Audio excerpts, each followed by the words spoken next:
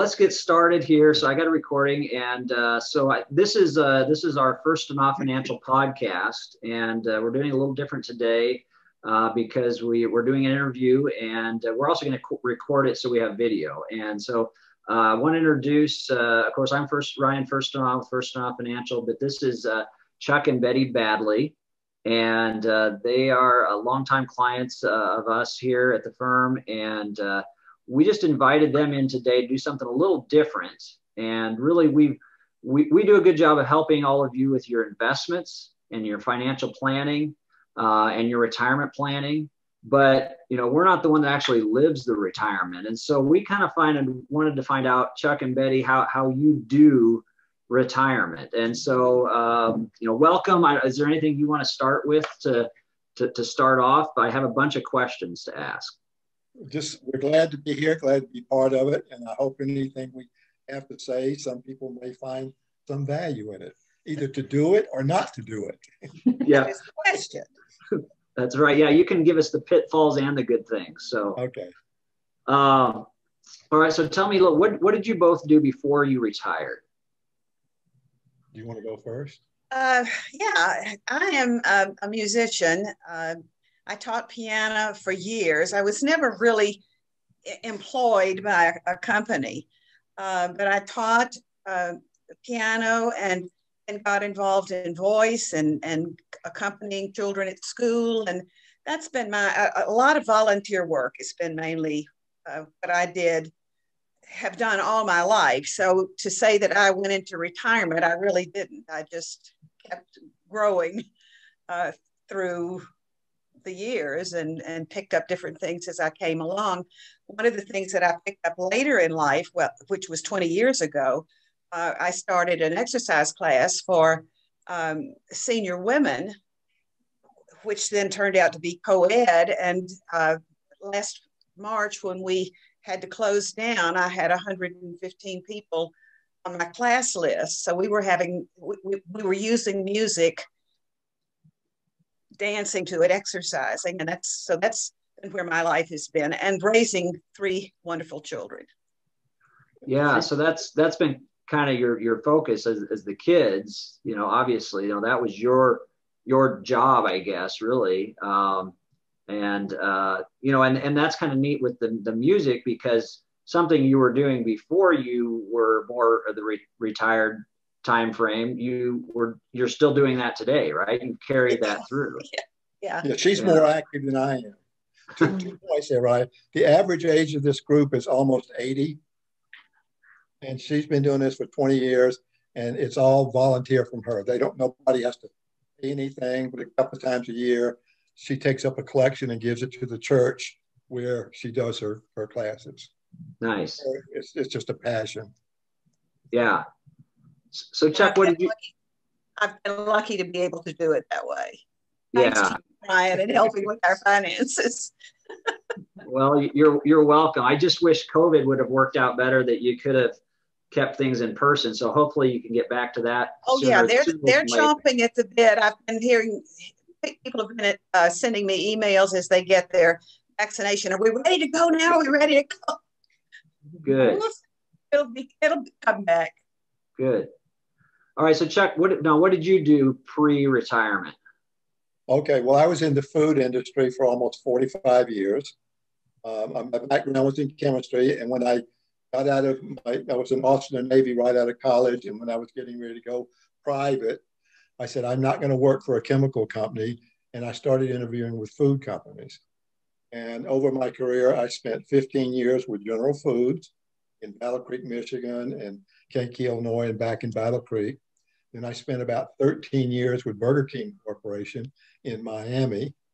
And then I, I actually did some of my own consulting for about three years. And in 1998, uh, ConAgra contacted me and asked me to come for an interview. And I came and I was there until uh, 2011. And I woke up one morning about a week before my birthday and I turned over to Betty and I said, Why am I still working? I'm 67 years old. I'm getting tired of it. And so I went in and gave my boss two weeks' notice. Nice. I didn't I didn't remember that that's how that went down exactly, but Yeah, and I retired the first part of October of that year. And then he asked, Al asked me if I wanted to consult. And I said, You obviously don't get it. I'm retiring. And and Ryan, that's where he met you, wasn't it? That's how yeah. we ever found you in the first place. Yeah, Chuck and I met at uh, at ConAgra, so that's kind of the other backstory, I guess. In fact, I worked for, for Chuck as a chemical engineer at ConAgra. I was the chemical engineer in, in his department, um, and now I'm still working for Chuck, uh, just in a different capacity. So uh, I'm getting a lot more out of it now. yeah. I hope I still did a good job while I was at ConAgra. But, Absolutely. Uh, it's a little more personal now. So, yeah. so uh, okay. So how long have you been retired now? Since uh, 2011. This this so yeah, 10 year 10 years already. Yep. Okay. Oh my uh, goodness. So Betty's been kind of pursuing her passions that she had. What what have you been doing, Chuck? Uh, well, I, I, I, love outdoors. Well, for a long time, I would go out and run a lot. I was a runner. Now that I'm 76, I'm kind of slowing down and I do walk, but I do a lot of gardening, a lot of outdoor stuff. Sometimes I do a little uh, furniture refinishing and just odd jobs around there. And I do it. I go to the exercise classes with Betty. Uh, but okay. my, that's when somebody says, "What do you do every day?" I say, "Whatever I want." Whatever you want. All right, nice, nice. Um, and so a big part of your life, I know, is, is your is your family. So, yeah.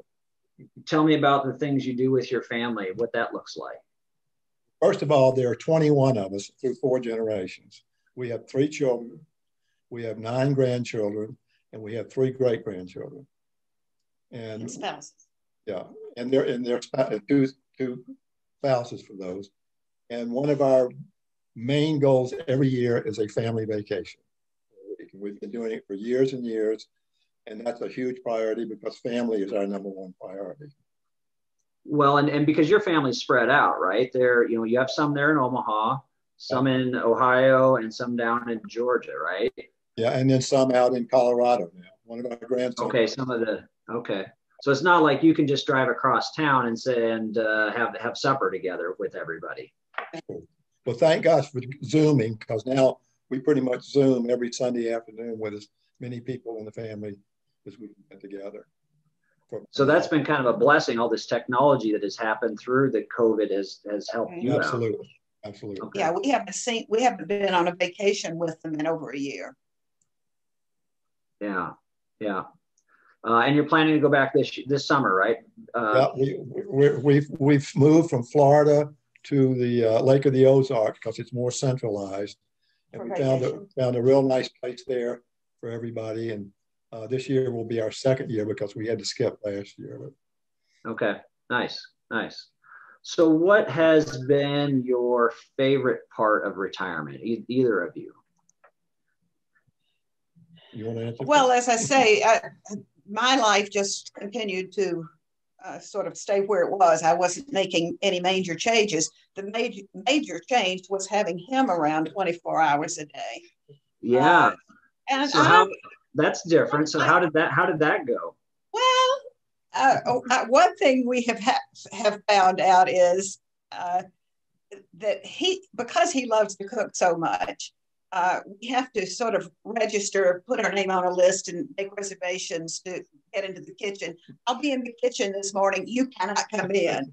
Okay. But uh, but it's fun to have him here. We've done a lot of projects together with the in the yard. We, it's, it's it's fun to have him here for the most part.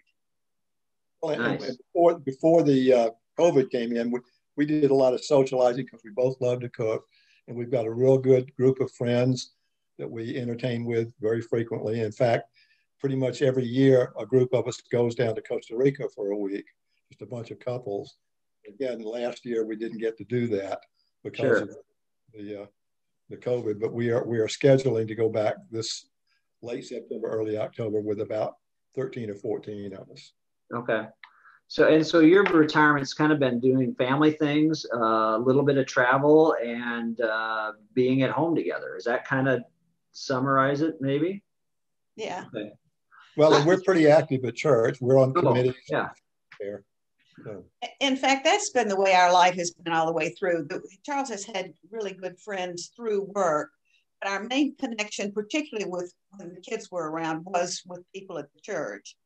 Uh, so a lot of our activities have, have been things, mission trips and uh, th- things like that, um, mission work uh, that is that's important to us. I've always sung in the choir at church, uh, and I've directed junior choirs at church. So all of those things uh, have have been wonderful connections for us. So so it sounds like you know a lot of what you did prior to retiring, it just it carries through, right? You don't retirement isn't just okay, you change and you have a new life all of a sudden, right? You still have your same passions and interests. Um, you're just able to do them maybe differently or more often because you're not going to a you know a, a job every day from eight to five. Is that is that fair to say? Pretty much. Pretty That's much. right on. And we have a lot more time to do the things we really enjoy. Sure. Okay. Not So that I didn't enjoy work, but Thank, thank you. So okay, so what what do you not like about retirement? Is there anything you don't like? not for me. Not a thing. I can't, I can't think of anything. You know, getting older is, is a little getting used Yeah, to. we get we're a little more limited in what we can do. Yeah. In fact, uh, three years ago, we went on a, a river cruise, and the travel now I'm wondering if we'll ever do anything where we'll get all the way to Europe again. That's that's just really hard on us. But uh, we we had a lot of time. We were over there several times uh, before we got older, and through the years, uh, I feel like we're not. There's nothing that we're really missing. I'd still like to go on an Alaskan cruise, but that's that will be closer than having to fly across the pond to Europe. Sure.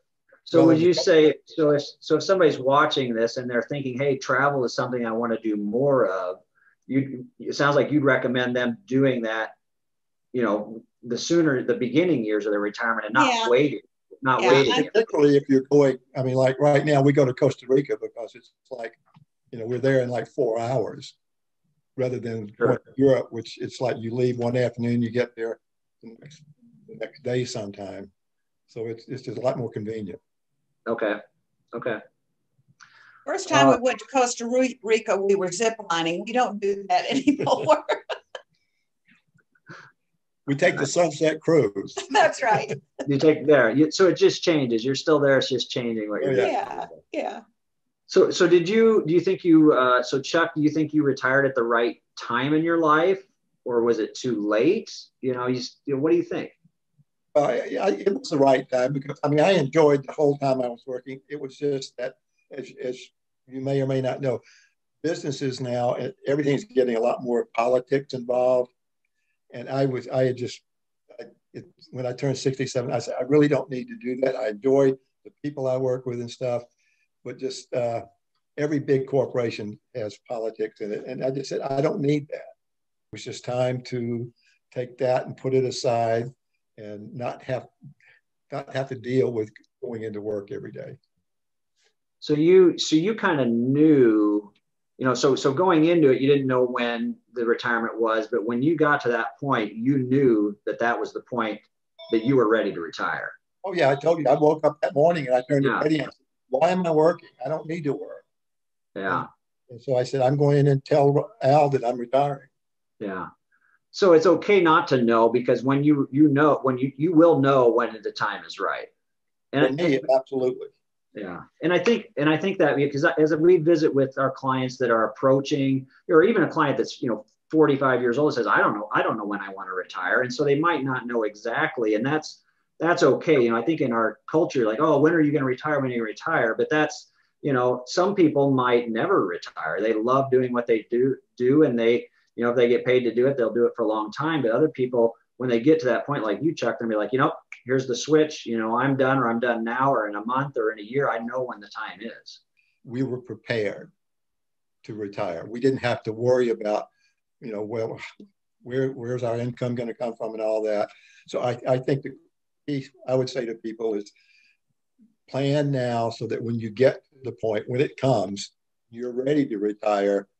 You've got the opportunity and you don't have the issues to going into retirement. Yeah, because and that's you know yeah that's right because we didn't start your planning uh, in 2011 the, the, when you decided to retire. We started years before that saying, okay, what if you would retire at you know whatever age we were looking at yeah. and what would it look like? Would it work? Would we run out of money? Would we be financially okay? What do we need to adjust to get there? And so yeah, we started that years before and I know we shifted the retirement date, as you said, no, I'm, I'm okay for a little while longer, you know, but we started that, that core planning ahead of time. So we knew, hey, when you're ready to go, it's, we're ready.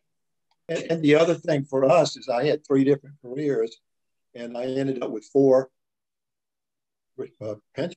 I had two from ConAgra and one from each of the other companies I worked for. So yeah, you know, spread out over three companies, not 45 years over one company, but it all worked out. We've been going here a little bit. You know, I didn't want to take too long. What what uh, if you could give one piece of advice uh, to somebody that is either going to be retiring soon or maybe has recently retired? What what would you tell them? You have to handle that. Okay. For, for me, I, I think I, I would say make sure that as you get into retirement, you've got all the things that are very important to you known and prioritized so that you can go with all of your time do the things you want to do. For us, it's family, it's friends, it's church, and those are the main three things. And most of our life is focused around those those three things. Okay. And uh, and we knew that you know when when retirement hit, we knew what we were going to be doing you I think that's good. I think, you know, I thank you for sharing, uh, you know, a little bit about yourselves personally you know, and, and what you've been doing in retirement. And uh, so we're going to share this on our podcast, like I said, uh, and on our YouTube channel. And uh, so we want others just to, to, you know, to maybe learn a little bit from it and maybe help them think of, you know, what their future might look like. And then maybe help, and, you know, get back to us and ask us more questions on how they can do, do things like you've done them. So, but we um, look forward to hearing what, what the other retirees are, are going to say too. So we don't have all the answers. all right, all right. Uh, one thing I, I, I, guess I could add here is uh, one of the th- things that, that now that Chuck is here that we can do together, uh, things, pro- projects that we can do around the house. But some of the, the we have found a, a, a organization called Great Courses and we have ordered several, uh, we've ordered something on Roman history from there. I have, have, have a study group going that we've, we've, I we've done 25 courses from great courses. What we're doing right now is we're taking Spanish together on great courses. So it keeps our minds going too. Uh, and, and we, we realize that we need to do that. Uh, okay. It's, it's Great. Part, you, it's, you not only stay physically active, you you have to keep your mind keep your mind too. going.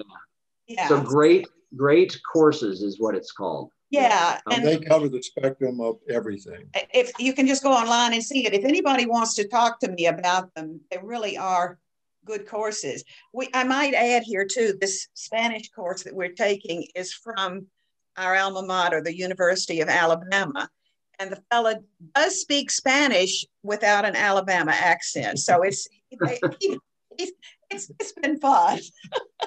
oh, good, good. Well, um, great. Uh, anything else you want to add before we wrap up? Well, just thanks, thanks for having us and having the the courage to put us on and somebody to talk to. Yeah. Well, thank you guys. I really appreciate it. And uh, you know, maybe we'll come up with another subject and have you on again sometime. Oh, oh, wonderful. okay, we, we'll always have an answer for you, an all opinion. Right. Thank you, Ryan. And you all stay safe, okay? All right. We'll talk to you soon then. You bet. Thanks so much. All bye right. Bye-bye. Bye-bye.